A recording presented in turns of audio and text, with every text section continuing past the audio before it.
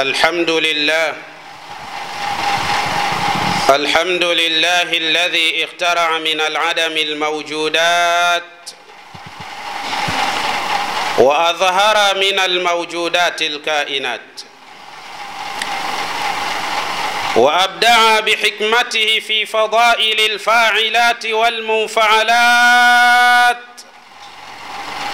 وأقام الأجسام المتألفات على أربع طبائع مختلفات.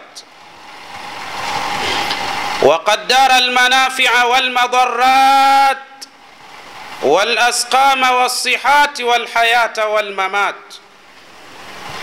اللهم صل وسلم على سيدنا وحبيبنا وشفيعنا محمد وعلى اله وصحابته عدد السكون والحركات عباد الله اوصيكم ونفسي بتقوى الله سبحانه وتعالى enyi waja wa allah subhanahu wa taala ninakuhusieni pamoja na kuipa wasia nafsi yangu katika sala zima la kumcha allah subhanahu wa taala fafi taqwahu salahu dunya walakhira kwa sababu katika tendo la kumcha ye allah subhanahu wa taala ndipo tutapata mafanikio lakini kadhalika ndipo tutapata usalama amani iliyokuwa bora katika dunia hii lakini kadhalika na tutaweza kuziandaa vyema akhira zetu kwa kuwa tumekuwa ni watu tunaomcha allah subhanahu wa taala.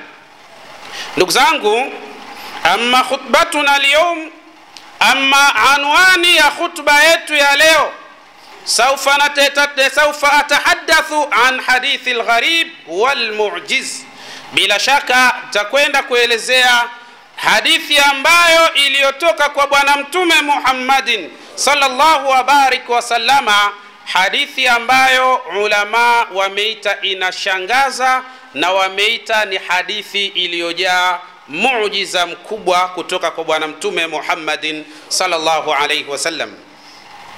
Na ndani ya hadithi hii tutafahamu iddatu lmafahim yani mafuhumu mbalimbali ambazo zilizotamkia hadithi hii ya bwana mtume muhammadin na itatujuza katika wakati wa sasa wenye maradhi mazito mazito yanayotia hofu yanayoogopesha nini kinachotakiwa watu tufanye na insha allah kwa utaratibu aliotueleza bwana mtume muhammadin. Lau tutaufata na tukaenda nao kwa utaratibu uliokuwa bora allah atatuvusha katika mazito kwa hurma na utukufu wake allah subhanahu wa taala. Ndugu zangu mabalaa yanapokuja ikiwemo maradhi ambayo yanaweza kuzuka yakawa ni hatari katika umma yanaweza kusababishwa na mambo kadhaa. Moja ni kuthratul lmasia pale ambapo maasi yanapozidi yamekuwa mengi. Hili ni moja katika jambo ambalo linaweza likapelekea kuzuka kwa maradhi yasiyojulikana vyanzo vyake vimetoka wapi.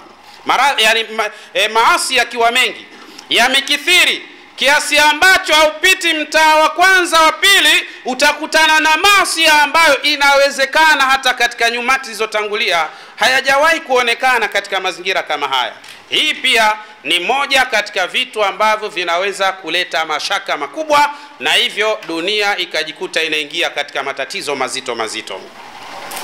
Lakini jambo la pili kuthratu dhulma kuwa na dhulma nyingi sana huyu anamdhulumu yule yule anamdhulumu yule kwa sababu tu ya nguvu alizonazo au kwa sababu tu ya uwezo alikuwa nao akawa mtu kazi yake ni kudhulumu huquqi nnas haki za watu. Hili pia ni katika jambo ambalo linaweza likaleta mashaka makubwa yakazuka maradhi yasiyojulikana vyanzo vyake kwa sababu tu ya kule haki za watu kuwa zinadhulumiwa na watu wakawa hawana mpango wa kuzizungumzia na hata kuzielekea hukuki hizo. Inawezekana allah akatusaliti kwa kutuletea maradhi mazito mazito. Kwa hiyo kila mmoja kwa nafasi yake ni vema kujitathmini je ninafanya dhulma kwa nani na kwa kiasi gani? Kisha baada ya hapo tuchukue juhudi za maksudi kabisa kwa kisha tunaachana na habari hizo. Allah yu tayari kutuondolea mabalaa haya kwa hurma na utukufu wake allah subhanahu wa taala. Lakini kadhalika miongoni mwa mambo kama haya ni kukithiri matendo ya zinaa yakawa ni vitu vya kawaida katika hali za namna hii. Ni hatari ambayo pia mwenyezi mungu anaweza kutusalitisha kwa kutuletea maradhi ya aina kadha wa kadha ambayo yatakuwa ni hatari.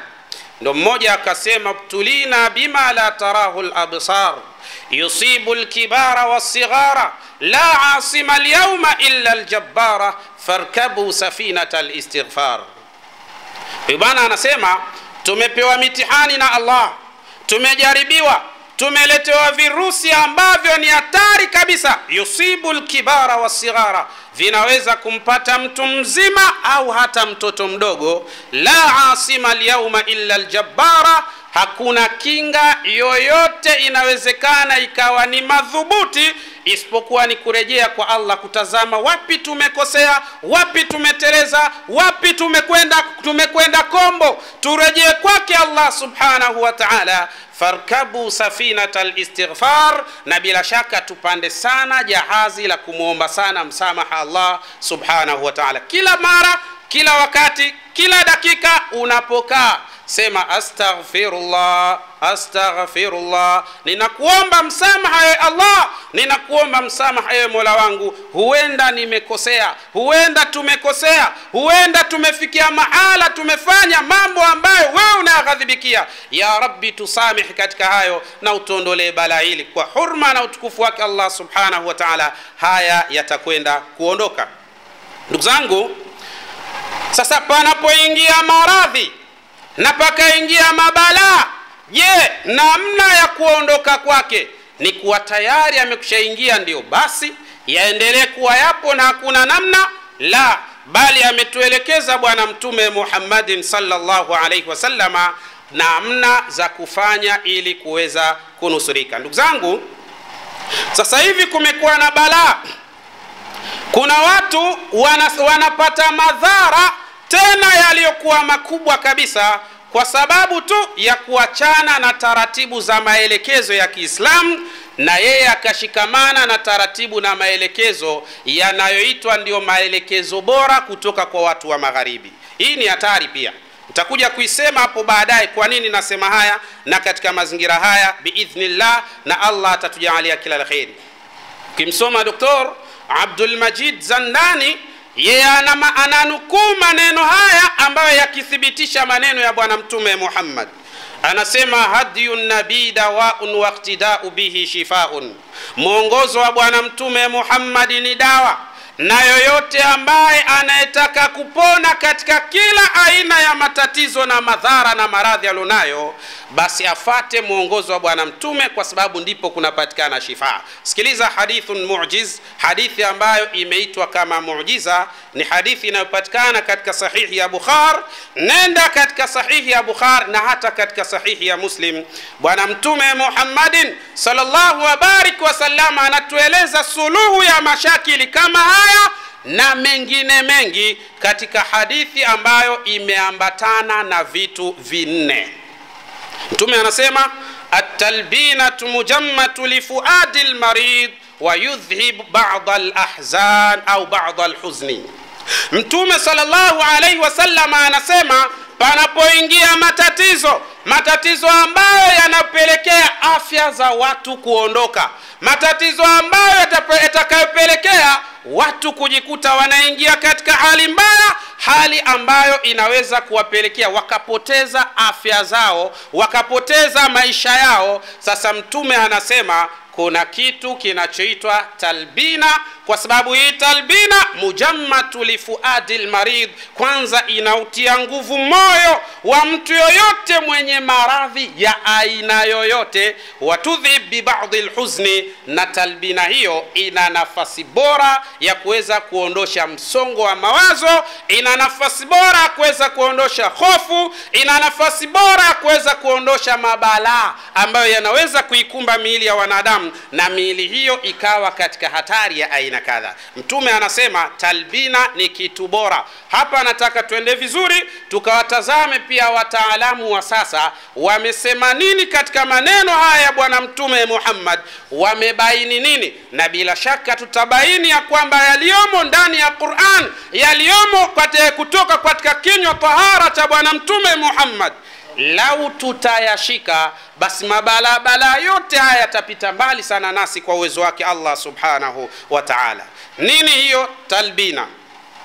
Ukimsoma doktor eh, abdulbasit muhammad assayid huyu ni raisu jumuiyati ijazi lalami lilqurani wa sunna ni rais ambaye anayefanya tafiti katika yaliyosemwa na allah na yaliyosemwa na bwana mtume muhammadin yana usahihi kwa kiasi gani na yanarudisha vipi faida kwa wanadamu ukimsoma anatueleza ya kwamba talbina ni nini anasema hasaun yumal min milaqataini min daqiqi shairi binakhalatihi thumma yudafu ilahuma kubun min alma وتطهى على نار هادئة لمدة خمس دقائق ثم يضاف كوب من لبن وملعقة عسل نحل anasema ni mjumuiko wa vitu vinne.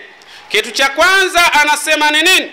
Anasema cha kwanza yumal min milakataini min daqiqi shair. Ili upatikane kitu kinachoitwa talbina kilichotajwa kwa katika kinywa tahara cha bwana mtume muhammad. Jambo la kwanza kwa wenye kupata madhara na wanayotaka madhara yasiwafike atafute vijiko viwili vya unga halisi wa ngano. Haya ni maneno yamesemwa na bwana mtume muhammadin karne ya saba. Sikilizeni umuhimu na namna inavyokuja kuonekana ubora wa, wa maneno ya bwana mtume muhammad katika karne zetu hizi. Anasema ichukuliwe vijiko viwili vya unga wa ngano. Hapa naomba tuende vizuri nawe ukifika nyumbani kafanye hivi alafu inshallah utaona matokeo mazuri kwa uwezo wake allah subhanahu wa taala. Kisha baada ya hapo thumma yudafu lahu makubun min alma kisha ukishachukua vijiko viwili vya unga wa ngano halisi chukua na glasi ya maji. Yaani glasi moja ya maji vijiko viwili vya unga wa ngano. Kisha baada watupaha ala narin hadi yani kwa maana uwe ni moto hafifu usiwe mkali ichemke katika hali ya namna hiyo. Limuddat 5 daqaiqin kwa muda dakika tano tu weka katika hali ya namna hiyo kisha baada hapo thumma yudafu kubu min labanin. Kisha baada hapo mimina ndani yake glasi ya maziwa wa milaqatu asali na kijiko kimoja cha asali. Vitu hivi vinne ndivyo vinatengeneza kitu kinachoitwa atalbina ile ambayo iliyotajwa na kiongozi wa umma bwana mtume muhammadin sallallahu wabarik wasallam kwa hiyo tumesema cha kwanza vijiko viwili vya unga wa ngano. Cha pili glasi ya maji cha tatu glasi ya maziwa. Na cha nne kijiko kimoja cha asali. Ukichanganya pamoja hiki kinachopatikana baada ya mchanganyo huu ndicho kinachoitwa talbina kwa maneno ya bwana mtume muhammadin sallallahu alaihi wasallam. Lakini swali ni moja kwa nini tumeita talbina? Kwa sababu talbina maana yake ni kitu kilichotokana na maziwa. Yani imeitwa talbina libayadhiha wa riqatiha kwa sababu ya ule weupe wake na kufanana sana na namna yalivyo maziwa katika hali ya aina kadha. Ndio maana mtume salllahu alaihi wasallama akaita hiyo ni talbina. Naomba na wewe ndugu yangu ne, utapofika nyumbani kafanye hivi alafu utaona natija inakuja katika hali ifuatayo.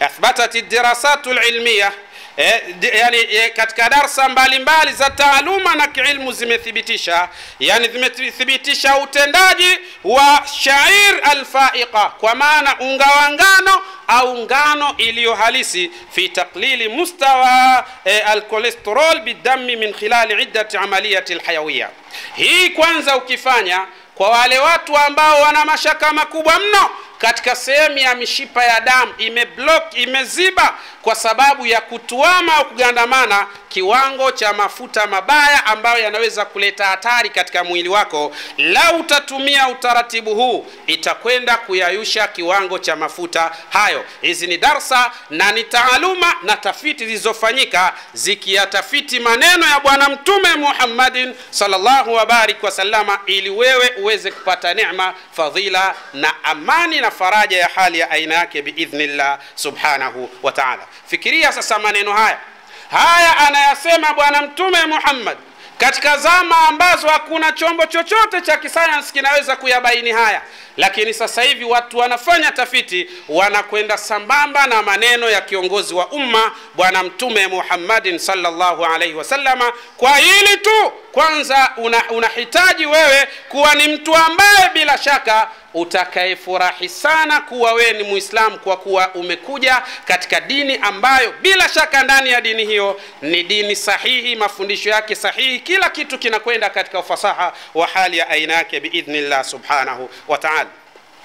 Lakini ulamaa na watafiti nao wakabaini ya kwamba taqi min amradi lqalbi wa tasalubi sharin attajia ya kwamba kama utapata fursa ya kwenda kuitumia hii talbina ina uwezo wa kumlinda mwanadamu kutokana na maradhi ya moyo lakini kadhalika na kwa wale wenye matatizo ya valvu za moyo kuwa zimetanuka basi hii ni mujarabu sana kwao kuhakikisha wanakuwa vema kwa uwezo wake allah subhanahu wa taala kwa matumizi ya kitu kinachoitwa talbina biidhnillah subhanahu wa taala. Haya ameyasema bwana mtume muhammadin sallallahu wa barik wasalama karne ya saba Ulama na watafiti wanayatafiti maneno ya bwana mtume wanapata ukweli na uhalisia wa ajabu mno ndani ya maneno matukufu ya bwana mtume muhammadin salllahu alaihi wasallam. Lakini kadhalika wadhabhatu sadria hata wale watu wenye mashaka matatizo ya kifua kinachoma sana na hata wale ambao wenye matatizo yanaitwa changamoto za upumuaji lau kama utapata fursa biidhnillah subhanahu wa taala ya kuitumia talbina kwa mujibu wa ulamai wal abhathi lilmi wanavyoni na watafiti wanasema ni mujarab katika kuondosha mashakili hayo ya kifua na mfano hayo biidhnillah subhanahu wa taala lakini kadhalika yuthbitu lilmu lhadith wujuda mawaddin talabu duran fi takhfifi min hidaati liktiab na kadhalika wamefanya tafiti wataalam wakagundua ndani yake kuna baadhi ya maadini muhimu ambayo maadini hayo yanasababisha kuondosha msongo wa mawazo katika mwili wa mwanadamu. Labda mtu amepatwa na msongo wa mawazo kwa sababu ya kuondokewa na mtu wa karibu yake au mkewe au mtu yoyote ambaye walikuwa wameshibana sana au kwa ameondokewa na mali alikuwa ni mtu anamiliki sasa hana. Hii ikampelekea kuwa na msongo wa mawazo. Hii talbina ni mujarabu sana kwa sababu ndani yake ina maadini. Kwa maadini hayo hupelekea kuondoka kwa msongo wa mawazo. Haya yamesemwa na bwana mtume muhammadin salllahu wabarik wasallam karne ya saba. Ulama na watafiti wamekuja kubaini haya katika karne za sasa. Bila shaka ubora na utukufu wa Uislamu tunauona dhahir amama ayunina mbele ya macho yetu biidhnillah subhanahu wa taala. Katika hii talbina kwa mujibu wa tafiti zinaonyesha ndani yake kuna maadini ya potassium. Na ndani yake kuna maadini ya magnesium. Lakini ndani yake kuna vitamin b na vitamin a. Zinapatikana ndani ya mchanganyo wa talbina hii. Kwa maana vijiko viwili vya unga wa ngano e, glasi ya maji glasi ya maziwa na kijiko kimoja cha asali. Hapa tunapata haya maadini ambayo ni muhimu pia kuja kutengeneza mwili wetu kuwa katika hali ya aina kadha. Na hii ilitumika e, katika zama za bwana mtume muhammad kama antibiotic maalum ambayo ina uwezo wa kushambulia maradhi yaliyo katika mwili wa mwanadamu. Bila shaka lau kama tutayatambua haya na tukayafanyia kazi allah subhanahu wa taala yu tayari kutufanyia makubwa na mazuri kwa hurma na utukufu wake allah subhanahu wa taala. Ndugu zangu kwa nini kukawa na maadini haya? Vitamin a lakini kadhalika ukawa na maadini ya yale madini ya potassium magnesium haya kwa nini yakawa ndani ya hiki kinachoitwa talbina kilichotajwa na bwana mtume muhammadin salllahu alaihi wasallam? Ni kwa sababu ifuatayo. Inna ahadu musababati inna ahada musababati aradi liktiab huwa taakhur fi amaliyati lfizyoloji litawsili nabadati lasabi lkahrubaiyatin huwa naksu vitamin ba. Tunasema katika kitu ambacho kinachoweza kumfanya mwanadamu awe na, na, na wingi wa msongo wa mawazo ni kwa sababu ya huyu mwanadamu ya kwamba ule umeme unaotumwa katika sehemu ya ubongo wake unachelewa kwenda na kwa kuwa tayari ule umeme utakuwa unachelewa hali hii inaweza kupelekea kupungua kwa kiwango cha vitamin b na itapopungua kiwango cha vitamin b hapa mtu atapatwa na msongo wa mawazo katika hali za aina kadha ndio anakuwa na mawazo hata ukimuuliza unawaza nini yeye mwenyewe hajui anachowaza ni kitu gani. Lakini anahisi kwamba kuna kitu kipo ndani ya kichwa chake lakini hajui anachowaza ni kitu gani. Hii ni hatari sana ndugu zangu na inaweza kuleta maradhi ya vifo zaidi kuliko haya maradhi ya milipuko katika hali za aina kadha. Mtume sallallahu alaihi wasallam anasema atalbinatu mujammatu lifuadi lmarid wa tudhib bibadi lhuzni hii talbina inautia nguvu moyo wa mtu yoyote ambaye inawezekana anasongwa na maradhi, lakini kadhalika ni mujarab sana katika kumfanya mwanadamu aondokewe na huzni pamoja na msongo wa mawazo. Ameyasema Mtume karne ya saba na yanakuja kudhihiri katika zama za sasa biidhnillah subhanahu wa ta'ala. Ibadallah, inna Allaha tabaraka wataala yaqul wabiqaulihi yahtadi lmuhtadun yaqulu subhanahu wa ta'ala فاقرأوا ما تيسر من القرآن. وقال تعالى وإذا قرأت القرآن فاستعذ بالله من الشيطان الرجيم. أعوذ بالله من الشيطان الرجيم. بسم الله الرحمن الرحيم. فلينظر الإنسان إلى طعامه. بارك الله لي ولكم بالقرآن العظيم. ونفعني وإياكم بالآيات والذكر الحكيم. أقول قولي هذا واستغفر الله لي ولكم ولسائر المسلمين من كل ذنب فاستغفروه إنه هو الغفور الرحيم وهو البر الكريم. الحمد لله الحمد لله رب العالمين ثم الصلاة والسلام على خير الأنبياء والمرسلين usikum wa iyaya bitaqwa llah ya ibadallah.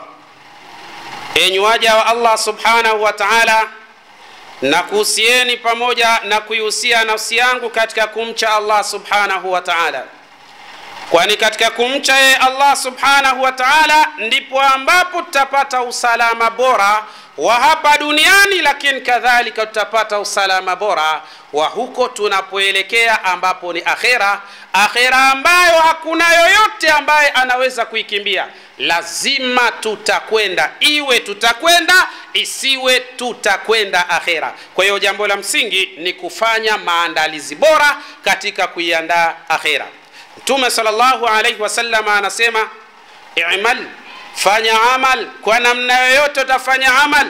Katika kuiandaa na kuitengeneza vema dunia yako lakini kadha, kama vile utaishi milele lakini kadhalika na uifanyie kazi akhira yako. Chuma kwa ajili ya akhira yako. Kama vile unahisi kesho tu mimi nitaondoka katika ardhi hii. Ndugu zangu tunayaona maelekezo ya bwana mtume muhammad mtume anatueleza kitu kinachoitwa talbina katika kuondosha maradhi ya aina kadha yakiwemo haya yanayosumbua dunia katika wakati wa sasa. Na ulamaa wamefanya tafiti wakabaini mambo makubwa. Cha msingi tu linapoonekana zuri katika uislamu lenye kufaa watu hulipigapiga teke na kulikimbia kimbia. Alafu baadaye wanaweza kurudi pale pale ambapo nyinyi mmepumbazwa msipatazame ndipo ambapo panakwenda kuwa na manufaa kwao katika mazingira kama haya. Kwa hiyo inatakiwa tuamke sana mapema mno katika masala kama haya ili mambo yaweze kwenda katika hali ya aina kadha. Ukimsoma doktor soma kitabu chake kinachoitwa tisuna ashaba ashafia fi baiti latar utabaini makubwa ambayo yaliyopangwa eh, kwa, kwa ajili ya kuleta madhara haswa kwa waislamu na kuwapumbaza waislamu waachane na maelekezo ya mtume wafate maelekezo yao matokeo yake tunakwenda tunajikuta tunaumia tena bila kupiga kelele. Kimya kimya katika mazingira kama haya. Allah tunusuru na tulinde kutokana na mashakili kama haya. Mtume alipotuambia talbina ina nafasi bora ya kuondosha baadhi ya mashakili katika mwili wa mwanadamu.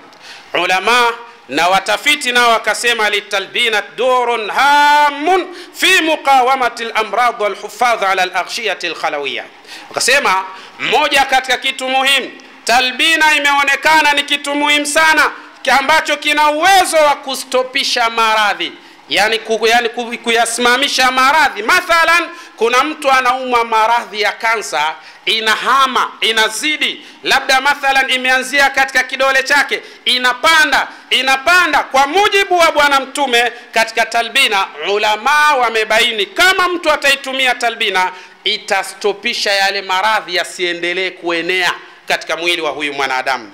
Lakini kadhalika walhufadhu ala laghshiya kadhalika ina hifadhi zile sel yani zile chembe chembe ambazo zilizokuwa muhimu zinapata salama na zinapata nguvu vile vile katika hali ya aina kadha wa ibtai amaliyati shaykhuha na hata kama kuna mtu ambaye eh, yani vile vile italbina ni mujarab sana katika okay. ndio inapelekea mazingira ya namna hiyo ngozi inajikunja kunapatikana vitu anaita atajaid na hapa sasa ndio mtu ana, anakuwa anaelekea katika uzee katika mazingira kama haya ukimsoma Dr. muhammad sarhani katika kitabu chake ashaikhuha utabaini haya katika hali ya aina kadha.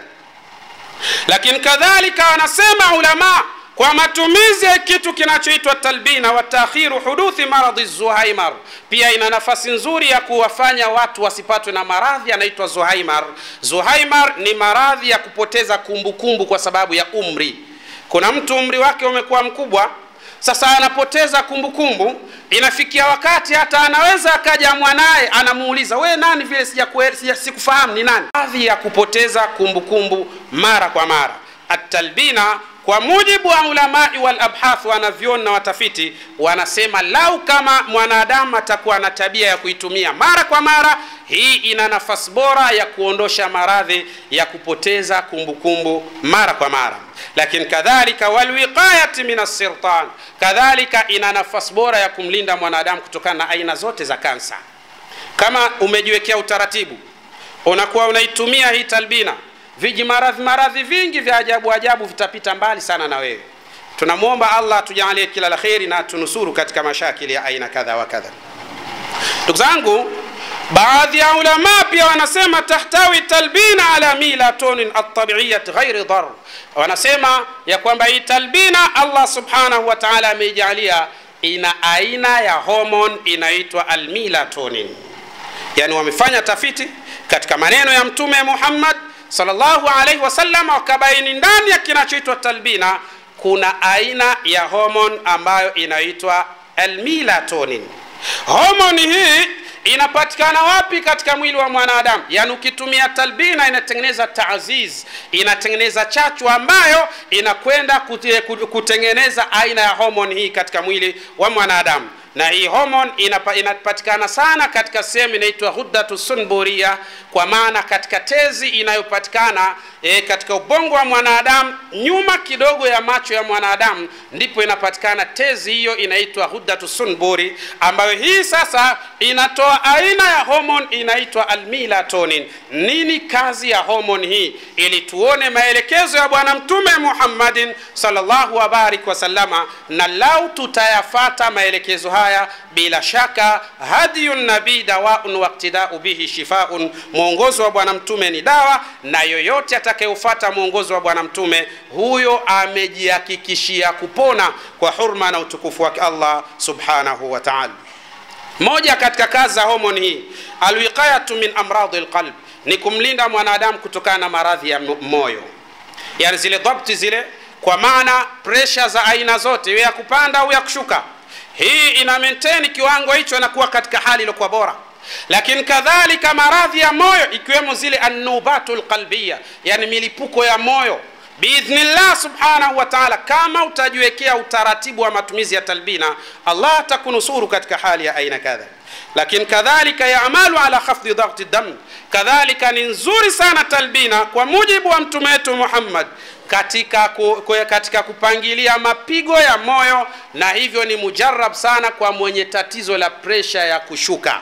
Kwa mujibu wa maelekezo haya kafanye nyumbani alafu utaona result iliyokuwa bora biidhnillah subhanahu wa taala lakini kadhalika kwa kuwa ndani yake kuna homon hii almilatonin wanasema ulama yamalu ala lwiqayati min maradhi shalal arriashi inda lkibar pia ni kinga madhubuti sana kwa yoyote yule ambaye aliyosibiwa na maradhi ya kuparalyze hasa kwa watu wenye umri mkubwa kama utaratibu wako ni kutumia sana hizi talbina basi haya maradhi yatakuwa mbali sana nawe kwa sababu ni maelekezo ya bwana mtume muhammad na tafiti za sasa zimebaini ukweli ulio katika talbina hiyo biidhnillah subhanahu wa taala.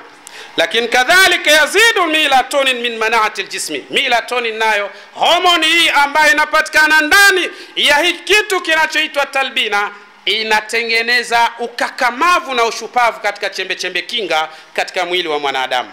Kama utakuwa ni utaratibu wako unatumia katika hali ya aina kadha basi chembe chembe kinga zako katika mwili wako zitakuwa na nguvu sana zitakuwa na uwezo wa kupambana na maradhi yote nyemelezi ambayo yanaweza kuingia katika mwili wako. Haya tumeelekezwa na bwana mtume muhammadin sallallahu alaihi wasallam lakini kadhalika lahu durun hamun fi tanzimi naumi walyaqdha kadhalika hii kwa kuwa ndani yake kuna milatonin maana yake ina uwezo wa kupangilia vema utaratibu wa mtu kulala salama na kuamka salama. Kwa maana kulala kwa wakati na kuamka kwa wakati. Kuna watu wanasumbuliwa sana na mashakili ya kutopata usingizi fanya utaratibu huu wa bwana mtume muhammadin salllahu wabarik wasalama utalala kwa wakati na utaamka kwa wakati kwa sababu taazizi ya homoni ya almilatonin ni mujarab inapatikana ndani ya kitu kinachoitwa talbina tulichoelekezwa na kiongozi wetu wa umma bwana mtume muhammadin salllahu alaihi wasallam lakini kadhalika watualiju atalbina irtifau sukari wadakt kadhalika kwa wale wenye maradhi ya sukari katika damu na kudhibiti sukari. Basi talbina inafanya vizuri badala ya watu kuwa mnatumia vitu ambavyo ni hatari insulin ambayo inaweza kuleta hatari katika afya na maisha yako. Sasa ukitumia utaratibu wa bwana mtume muhammadin auna haja ya kutumia insulin katika hali ya aina yoyote. Na allah atajalia kila la kheri na mambo yatakwenda vizuri. Lakini kuna watu hawapati haja wakienda haja hawapati vizuri. Talbina ni mujarab sana eh, katika mazingira kama hayo na wale ambao wana mashakil katika sirtanu qulun kansa ya utumbo mdogo biidhnillah subhanahu wa taala kwa mujibu wa wanavyoni na watafiti wameyatafiti maneno ya bwana mtume muhammadin. Bahati mbaya ambayo bila shaka ndio imekuwa inatudhuru tuliokuwa watu wengi sana. Akiyasikia mtu maneno ya mtume amesema jambo kadha anakuwa na asilimia 50 kwa 50 nusu anaamini nusu anaona kama "Ah, hivi inawezekana ikawa kweli akisema mzungu ndo kasema kweli ndo sawasawa hii ni hatari sana. Na jamii yetu imepandikizwa hivyo na tumekushaamini katika mazingira kama haya. Yapo mambo we sema utakavyosema hakuna mtu anakuelewa kasema bwana mtume muhammadin salllahu alaihi wasallama hakuna atakayekuelewa. Lakini mwambie amesema mtu fulani mzungu fulani mwanasayansi atakuambia huyo ndo sawa. Kwa sababu huyo kafanya tafiti na amebaini allahu akbar hii ni hatari sana katika mazingira kama haya ibadallah صلوا وسلموا على رسولنا محمد صلى الله عليه وسلم فإن الله سبحانه وتعالى أمركم بذلك فقال إن الله وملائكته يصلون على النبي يا أيها الذين آمنوا صلوا عليه وسلموا تسليما اللهم صل وسلم على سيدنا محمد وعلى آل محمد كما صليت على إبراهيم وعلى آل إبراهيم وبارك على محمد وعلى آل محمد كما باركت على إبراهيم وعلى آل إبراهيم في العالمين إنك حميد مجيد وارض اللهم عن خلفاء الأربعة الكرام أبي بكر وعمر وعثمان وعلي وعن سائر الصحابة أجمعين. عباد الله إن الله يأمر بالعدل والإحسان وإيتاء ذي القربى وينهى عن الفحشاء والمنكر والبغي يعظكم لعلكم تذكرون واشكروه على نعمه يزدكم ولذكر الله أكبر والله يعلم ما تصنعون أقم الصلاة إن الصلاة كانت على المؤمنين كتابا موقوتا.